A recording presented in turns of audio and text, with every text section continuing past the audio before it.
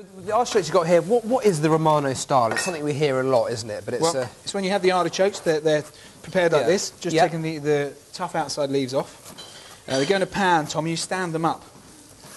And then you add to that the parsley and garlic. yeah, which The garlic, just watch my fingers there, Tom. Sorry, I've heard you're a bit lethal, haven't I? pretty lethal. Look at my knife Right. skills. Absolutely. Chop, uh, yeah. chop a bit more of the parsley. Yeah. We're going to add a little bit to that. Uh, we're also going to add some olive oil, Tom. Okay, so we've Uh, got. white wine.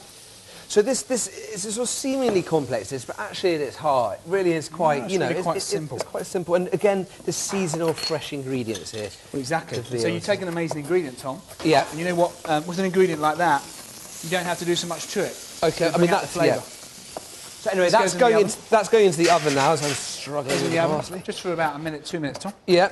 How fine do you want this? Probably Uh, a lot finer. Really? That's loads. Fantastic. Okay. So I can go straight in there. and so what's going to happen now? It's going to braise slowly, or? This basically you bring it to the boil and then cook it in the oven. Wow. So a little bit of white wine, Tom. I've added olive oil. Yep. Hands are all greasy, like so.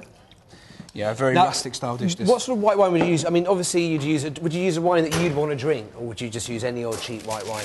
You know, um, you know, it is a, tr- a true thing, Tom. The better the wine you use, Yeah. the better the end result. Okay, It's a so- question of your um, own conscience. So all that rubbish about any wine that goes off used for cooking is completely wrong. I mean, you can use it, but It's not, gonna, it's not going to taste it's nice, pure is it? flavour, Tom, isn't Yeah. it? You know, what you add to a dish enhances a dish. You stick rubbish in, Yeah, and it's going to you, come you, out. you're definitely detracting from the uh, pure flavours. Now this is a very grand piece of paper here. Right. What's, what is this? This is what we call a cartouche.